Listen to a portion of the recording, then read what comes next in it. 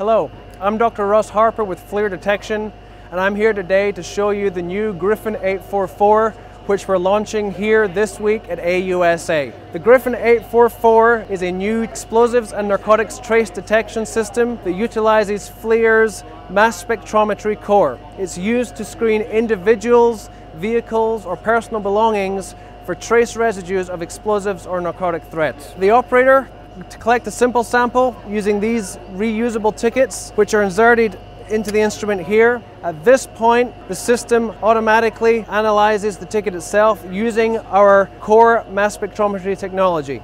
The GSS Touch application features a red light, green light, easy to interpret user interface. By giving us go, no-go results, there is no data interpretation or requirement on the operator to go beyond reading the simple results on the screen.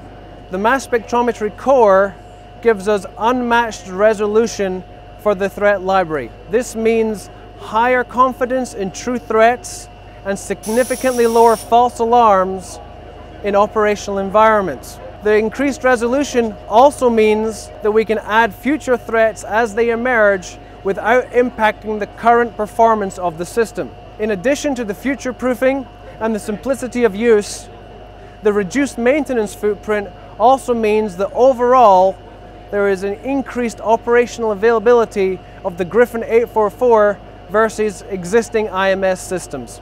If you'd like to know more about the Griffin 844 or any of the FLIR detection products, go to FLIR.com.